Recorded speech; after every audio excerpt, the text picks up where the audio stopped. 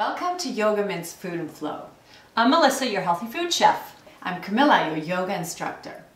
Today's focus is radiance. And what better food to eat for radiance than kale? Today I'm going to make a simple and delicious tahini kale dish. And I'm going to teach you a breath exercise to get toxins and stress out of your body. Let's get started. All right. Hi there. Today I'm going to make a simple and delicious kale dish. Kale is America's superfood. It's loaded with calcium, it's got B vitamins, it rebuilds DNA cells, and it helps repair cancer cells. Kale comes on a stalk that can sometimes be a little bit bitter, so for this recipe we're going to remove the stalk and it's really easy. You just grab the end and pull, and the kale comes off. How simple is that? Next I'm going to go through the ingredients for the sauce. We have two tablespoons of balsamic vinegar, two tablespoons of low sodium soy sauce, and then we have about a quarter cup of tahini, which is just ground up sesame seeds. That's for the sauce and some filtered water. So we're just going to put that together right in my trusty little magic blender. Pouring them in. Half a cup of water. And our tahini. This sauce thickens up when it cooks. It gets really delicious and it infuses the curly leaves of the kale with flavor. Just going to put the lid on here and we're going to blend it up just for a second. Super simple. So now I'm going to show you how to saute the shallots. Shallots taste like a combination of garlic and onion. And today I'm going to saute them in coconut oil, which is going to bring out their sweetness. So let's go over to the stove and I'll show you how to do that. We're going to turn our heat onto medium. Just need a skillet for this dish. And I'm going to put about a little less than a tablespoon of coconut oil. Just let that melt down. Okay, our coconut oil has melted down, so we're going to add our shallots right to the pan. We're going to saute those up. Just let your shallots saute until they get soft and almost transparent, and that's when the flavor really starts to come out and they get very sweet. You can already hear them sizzling.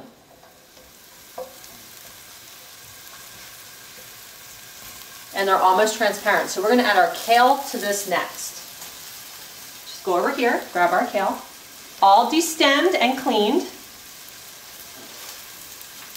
We'll just put it right here in the pan.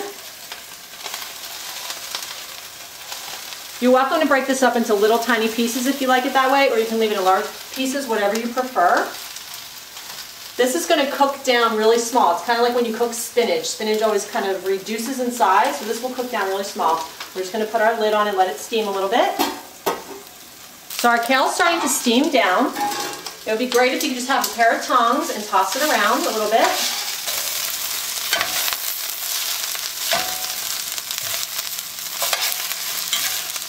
Mmm, smells delicious.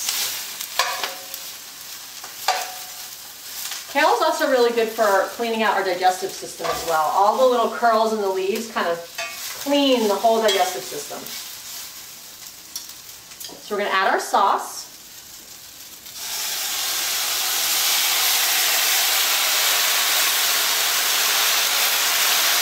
Mmm. We're going to put the lid back on just for another minute.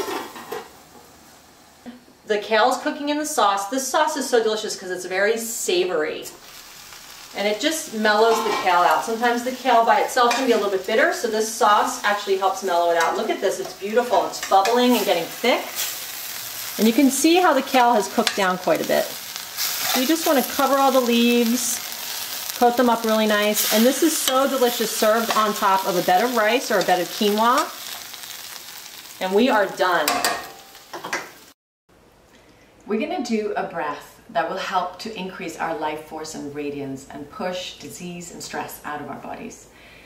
Pranayams are amazing because they teach us to control our breath so that we can increase the amount of energy that we have in our bodies and it can slow down the breath so that it will calm our minds. If we have very shallow breathing, it makes our bodies more anxious. So controlling your breath with pranayams is fantastic. For this particular one, we're going to be sitting down cross-legged. And if that's difficult for you, you can sit on a chair, but you just want to make sure that the spine is absolutely straight And imagine that you have a grapefruit tucked underneath your chin, and that's going to help your spine to get even straighter. And the arms are going to be positioned like this. The right arm is making a pledge, and the left arm is in front of your heart like this. And the fingers are straight and stiff and together. And the breath is four counts in and one count out through a rounded mouth. So it goes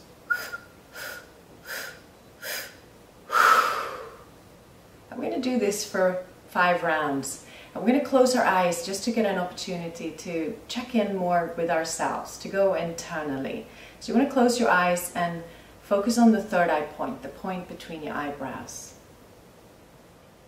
And here we go.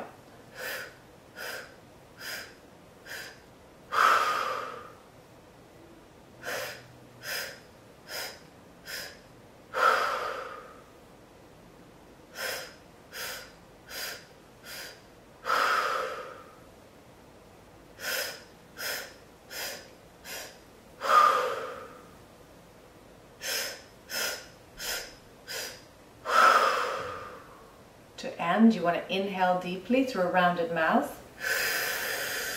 Bring both arms up, spread your fingers wide. Exhale through a rounded mouth, cannon breath. We're going to do this two more times.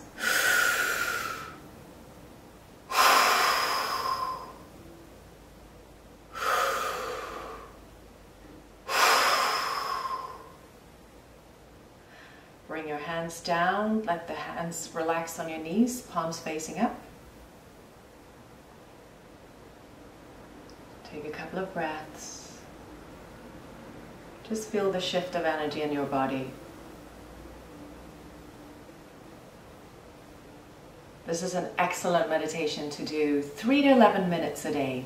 I love it if I have something very important where I need to feel more radiant and a little bit extra energized and more present, than I do this meditation. May your life always be in flow. Thank you for joining us for Yogamint's Food and Flow. Today's focus was radiant, so remember, eat fresh Breathe deeply and be in the flow. Should we try some?